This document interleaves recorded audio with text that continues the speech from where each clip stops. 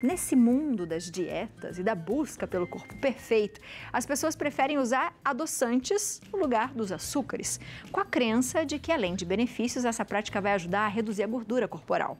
Além disso, o uso dos adoçantes é considerado auxiliar no controle de algumas doenças, como, por exemplo, a diabetes.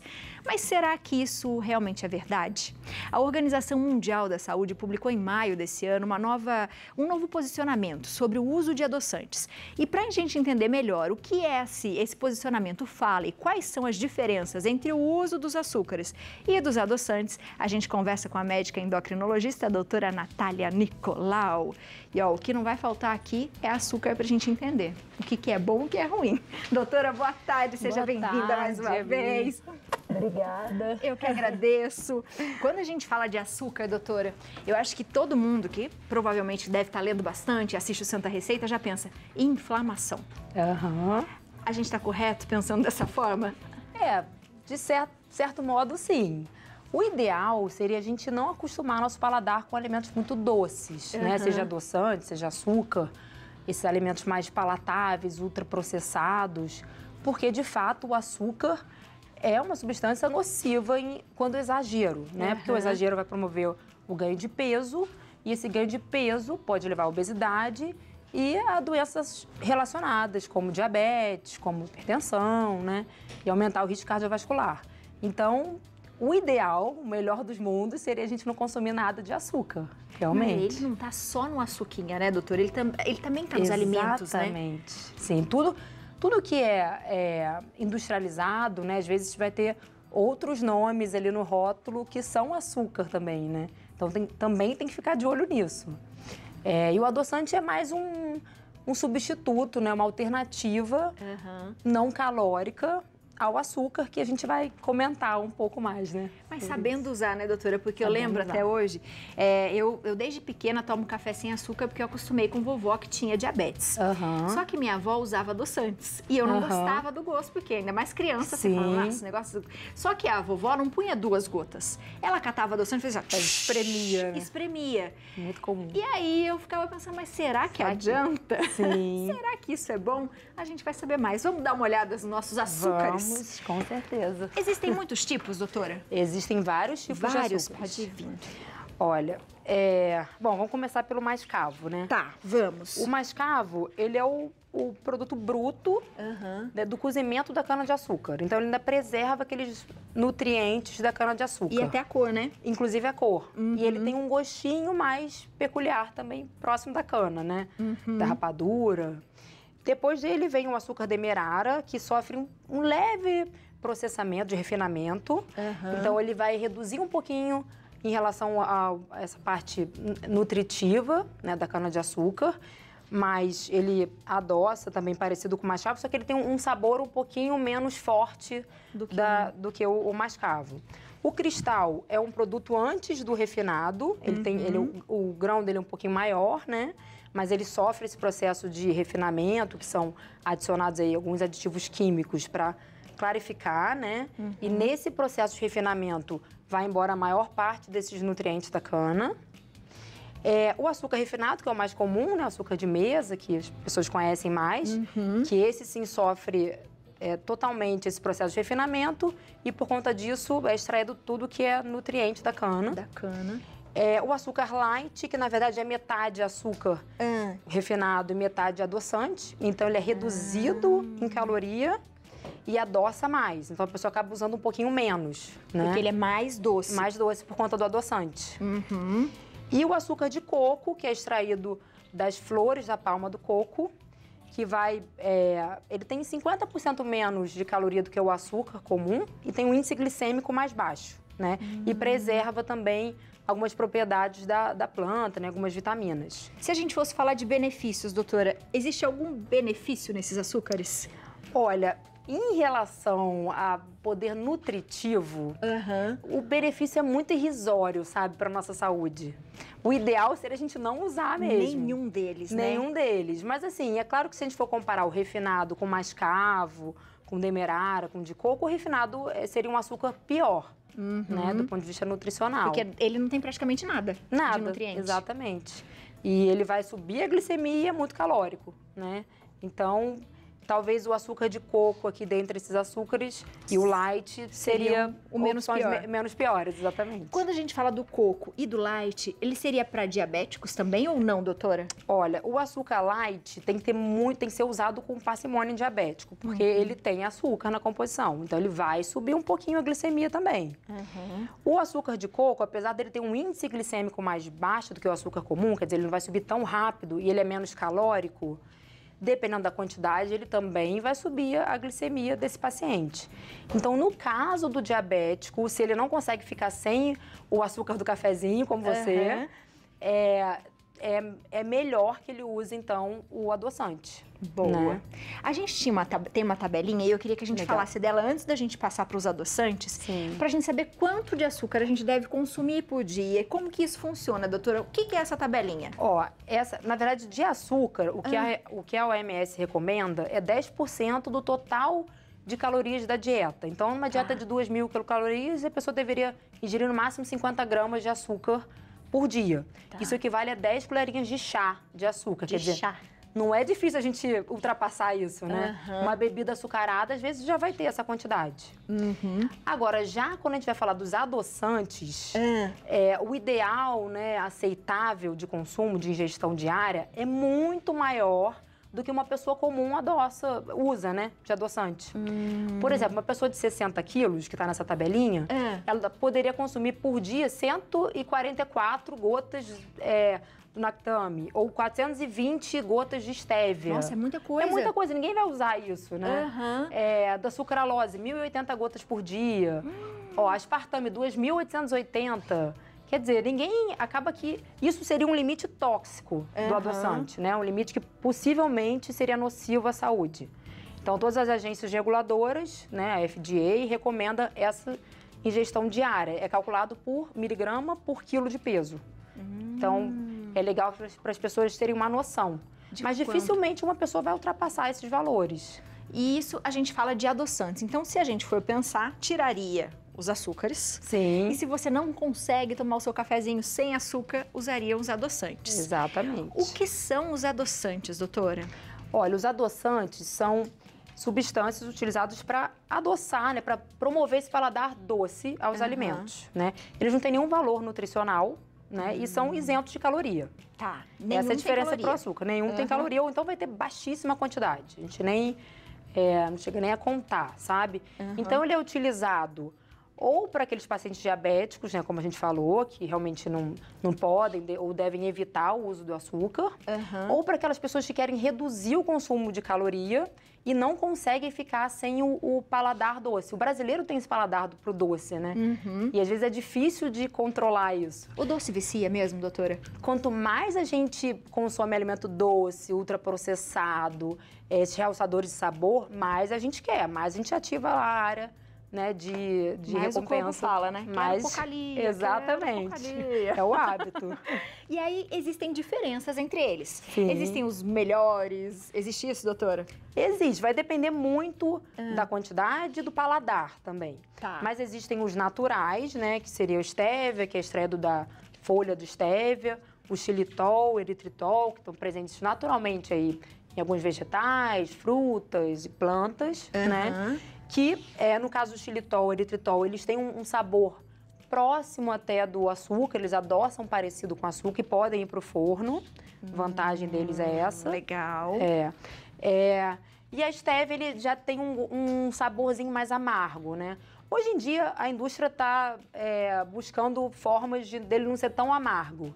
Mas, no geral, ele deixa ainda um saborzinho residual. Hum. Mas esses adoçantes, são adoçantes considerados é, possivelmente melhores, né? Melhores. Não necessariamente também. Porque o que a gente falou, a quantidade, né? É, diária, de limite de uso, é uma quantidade muito alta. Dificilmente um indivíduo comum vai utilizar, né? vai, vai consumir tanto disso. Tanto né? disso. Mas e... eles trazem, por exemplo, assim, é, eu não sei, desculpa a ignorância, doutora, mas assim, tem assim, sódio demais, outras coisas que podem Sim, prejudicar? Tem, tem alguns aditivos, dependendo do adoçante, tem uhum. aditivos que podem ter, é, podem promover alguma alergia hum. ou uma, alguma intolerância. E eles também mudam um pouco a microbiota do intestino. Isso pode ter um ah, impacto. Isso eu já ouvi também. É. Isso pode ter algum impacto, inclusive, na glicemia de, dos pacientes. Mas isso também, não, assim, nenhum estudo robusto e sério, com um grau de evidência grande, comprovou isso até o momento, né? Assim, para é, que as pessoas não usem mais adoçante, Uhum. né? E existem os adoçantes artificiais, que são... E esses são os primeiros que os surgiram, primeiros que né? surgiram, exatamente. Que são sintetizados em laboratório, Uhum. né? E que conferem, eles adoçam muito mais que o açúcar. Por exemplo, o aspartame adoça 200 vezes mais que o açúcar, sucralose 600 vezes mais. Isso é muito, né? É muita coisa. Por isso que as pessoas acham que é muito doce às vezes, né? Aham. É, e eles, dependendo, né, do, por exemplo, o aspartame, ele não vai poder ser usado em pessoas que têm fenilcetonúria, que é uma, uma doença super rara, que não- a pessoa não consegue metabolizar um metabólito desse, do aspartame, né? Que ele é quebrado no corpo. E aí acontece o quê, Ela doutora? pode acumular essa substância, isso é muito nocivo, né? Inclusive problemas neurológicos, enfim. Nossa. É, E mas isso é uma algum- coisa raríssima. É raro de viu? acontecer. É muito raro. Não, é- essa doença é muito rara, né? Hum, tá. Então, isso não, não seria assim para a população em geral, tanto é que os alimentos têm que vir escrito, né? Fenilcetonúricos, esse alimento aqui tem, né, fenilalina, que é uma substância que é quebrada na- quando o aspartame é quebrado, né? Ele se transforma nisso. E é, tem pessoas, por exemplo, a gente falou do- dos problemas gastrointestinais, né? Dependendo Sim. do adoçante, por exemplo, ele pode soltar um intestino, pode prender o intestino, pode, Pode. acontecer isso. Pode, por exemplo, o xilitol desses É. aqui, xilitol, sorbitol, eles têm, ele pode, podem ter, né, essa, essa situação de, da diarreia, de soltar o intestino. É, o sorbitol também pode dar gases. E tem pessoas que não toleram também. Por exemplo, o aspartame tem pessoas que referem dor de cabeça. É, tem pessoas que vão ter tremor de pálpebra. Porque ele é quebrado também num, num ácido aspartico, que é um neurotransmissor. Então, ele, a pessoa pode ter esses efeitos colaterais. Em quem é mais sensível, né? Uhum. O ciclamato e a sacarina, eles já são mais antigos, eles deixam um, um saborzinho residual. De também, remédio, de né? remédio, é. Então eles já são mais. é, às vezes ne- nem todo mundo se adapta, né? Aham. Geralmente quem acabou de sair do açúcar se adapta um pouquinho melhor à sucralose, porque ele é um derivado Bem da doce. sacarose Uhum. da cana-de-açúcar. Então ele adoça bem próximo do açúcar, né? Mas assim, de um ponto de vista né, geral, de modo geral, todos eles são seguros Aham. para a saúde. A princípio. OMS fala isso também. É, o- a recomendação da OMS, na verdade, dos órgãos reguladores, é utilizar aquela, aquela tabelinha, tabelinha. ali. É. Aham. É, a OMS, o posicionamento da OMS foi em relação, ele- eles colocaram, na verdade, uma agência de pesquisa de câncer, uma agência internacional de pesquisa do câncer, colocou os adoçantes, o aspartame especificamente, no rol é, das substâncias possivelmente cancerígenas. Essa mesma agência coloca, por exemplo, carne vermelha, trabalho noturno, até com um nível de evidência maior do que o adoçante, sabe? Só que isso ficou um alarde, porque as pessoas começaram a associar o adoçante ao câncer. Eu vou consumir adoçante, eu vou ter câncer. E na verdade não é assim. Eles pegaram, por exemplo, um estudo em ratos que tinham um gene com propensão para câncer, submeteram esses ratos a uma dose absurda de aspartame, uma dose que ninguém usa, Que ninguém muito vai usar. superior, ninguém vai usar. Aham. E nessa população de ratos houve um aumento de câncer. Então eles pegaram esse tipo de estudo com um grau de evidência não tão bom para recomendar que as pessoas que não os diabéticos, não recomendaram isso para os diabéticos, Aham. mas para as pessoas que querem controlar o peso, evitarem o uso dos adoçantes. Na verdade, o que é o objetivo da OMS é tentar diminuir né, O o, consumo. consumo de, de é, ultraprocessados, né? Que tem, Uhum. às vezes, na composição adoçante. Então, é diminuir o consumo. Então é, ela dá um susto para Exatamente. todo mundo ficar atento, ler a notícia inteira. Nem sempre as pessoas fazem isso, daí lê só o que está escrito ali e vai falar, pronto, não posso mais né, usar aspartame nunca mais na minha Exatamente. vida. E aí Mas os é diabéticos começaram a trocar. Esse E que é o aí? medo. Começaram, muitos diabéticos Ah. começaram a trocar o, o adoçante por açúcar, achou que estava liberado. Mas em nenhum momento a OMS recomendou para os diabéticos trocarem isso, né? Na verdade, a gente não deveria consumir nada muito processado, com paladar muito doce, né? Mas o alimento in natura. Perfeito. Tem perguntinha de WhatsApp, vamos lá. Temos, temos perguntinha para a doutora aqui, ó. Adriano Souza, de Belo Horizonte. Boa tarde. Posso substituir o açúcar pelo melado de cana? Obrigado pela pergunta, Adriano. E aí, doutora? Vai depender do paladar. né? E vai depender de, de comorbidade, se ele quer controlar o peso, se ele tem uma glicemia alta. Depende de uma série de coisas. Se ele não tem nenhuma comorbidade, por uma questão de paladar, não tem problema nenhum. A diferença vai ser muito pequena Muito de um pequena. outro. Lembrando que mel e melaço, o diabético não pode não de pode jeito consumir. nenhum, tem né? um índice glicêmico muito alto também. Boa. Da mesma forma. Mais perguntinhas, vamos lá. É, doutora, é, eu queria que a senhora falasse um pouco também do açúcar de beterraba, né? Alguns países no mundo. Aqui a gente faz, retira o açúcar do- da cana-de-açúcar. Aham. Na Europa a gente retira, se retira o açúcar da, beterraba da branca. beterraba. Queria saber se você pode falar pra gente um pouquinho sobre esse tipo de açúcar também, se ele tem algum benefício. Leão, na verdade, de benefício é tudo muito parecido, tudo açúcar, sabe? É, em relação do ponto de vista nutricional, de vitaminas, né, é, eletrólitos, não vai fazer muita diferença, não. De minerais, é tudo açúcar, a gente não deveria consumir da mesma forma. É, o ideal seria não consumir nenhum dos dois. Nenhum dos dois. E quando a gente Isso. pensa isso, a gente também pensa nas frutas, né, doutora? Porque as Isso. pessoas falam, ah, mas as frutas. A fruta também tem açúcar. Também a frutose, E né? é necessário a gente também balancear, por exemplo, saber quanto a gente deve ingerir, por exemplo, por dia, doutora? Seria uma Com conta que a gente tem que certeza. fazer? Na verdade, depende mais uma vez. Quem é diabético, principalmente, não é legal, né, mandar ver na fruta, achar que está liberado e consumir muita fruta, mais do que três porções por dia, dependendo da dieta desse- dessa pessoa, pode aumentar muito a glicemia, né? É, O ideal é sempre adaptar a uma dieta equilibrada. Para a população em geral, que não tem nada, fruta é super saudável, né? É muito melhor do que ficar consumindo coisas industrializadas, alimentos muito palatáveis, né? Artificialmente. Então, nesse caso, é legal consumir fruta, não tem problema nenhum. Quanto mais porções, mais vitamina, enfim.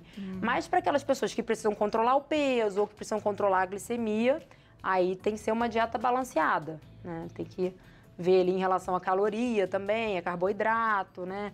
Índice glicêmico daquelas frutas, aí tem outras coisas que influenciam, influenciam. também. É. Se a gente fosse dar um alerta para as pessoas, realmente diminuir o açúcar em tudo que a gente puder, Sem né, doutora? dúvida. E se você realmente quer perder peso, o açúcar vai atrapalhar. Ele Vai. retém? O que, que ele faz no nosso corpo, É doutora? muita caloria. O grande problema do açúcar é que ele- a densidade calórica dele é muito alta e é muito fácil a gente exagerar no consumo, porque é gostoso, né? Uhum. Ainda mais se for açúcar com gordura, então, na hora a gente quer comer mais. Quero né? mais. Quero mais. Uhum. E esse é o grande problema.